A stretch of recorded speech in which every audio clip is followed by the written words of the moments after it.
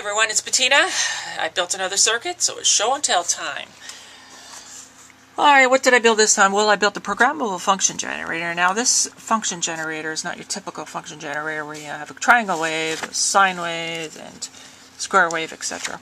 It's a little bit more basic than that. In fact, it's just an experiment.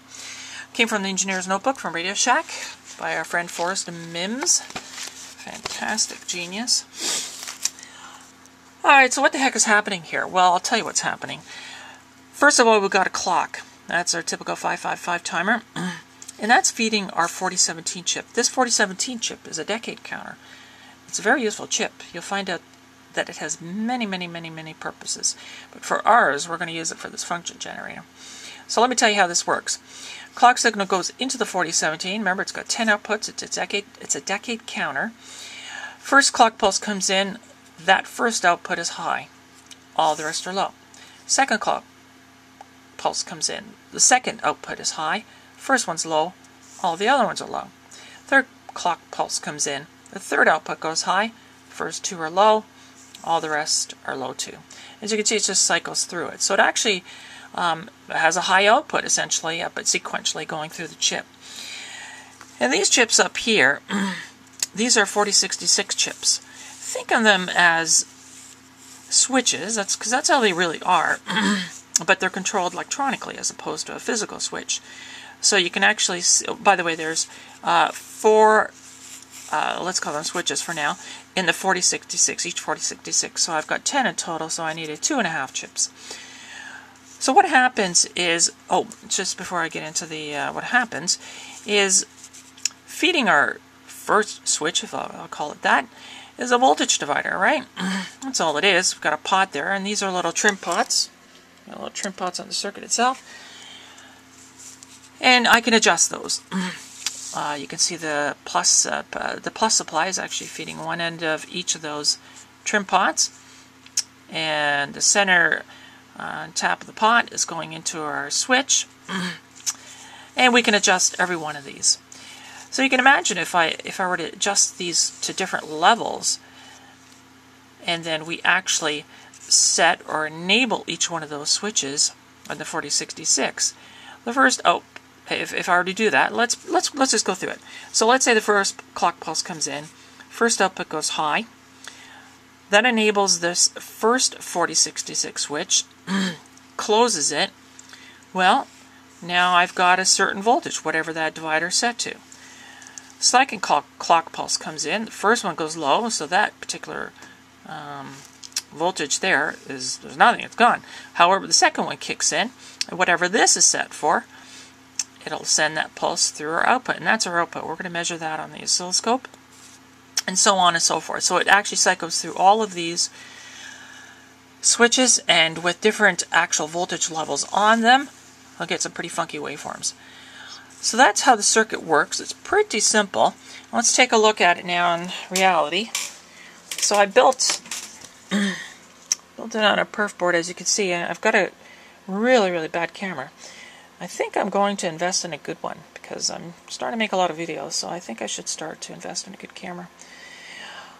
Well, anyway, this is the power supply up here. I, am just using an 8 volt regulator. That's all I had. I mean, any, I think this chip can go anywhere from 5 to 15 or something crazy like that. Uh, so 8 volts is, is fine for me. uh, there's my 555 timer right there. There's my 4017 chip. And these are my 4066 chips. So those, think of those as our switches. And by the way, these 4066s, you'll find if you go through the, the data book, you'll find a heck of a lot more um, types of these electronic switching. There's a single pole, double throw, um, and there's all types of different configurations. So um, just look at your data books and you'll, you, will you will see them and you can do whatever you want with them. And these are my trim pots, of course, on the top. And that's what I'm going to control my voltages with on each particular output. So hopefully that made some sense. Um, this particular pot here, it's just the frequency of the actual 555 timer. I think I've got it set for, uh, let's take a look here. Alright.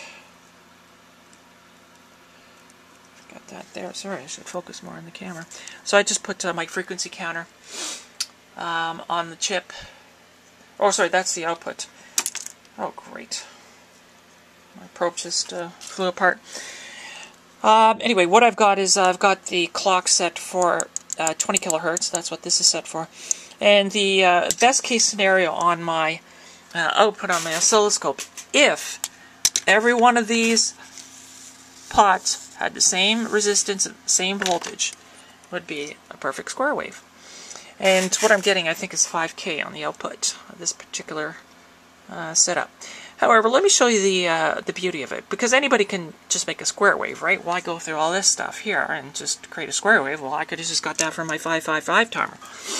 But no, watch what I happens when I start to adjust these pots here. So what I'm doing is I'm just going to go through, there's 10 of them. And I just have to get a clock signal here. Oh boy, what's going on here?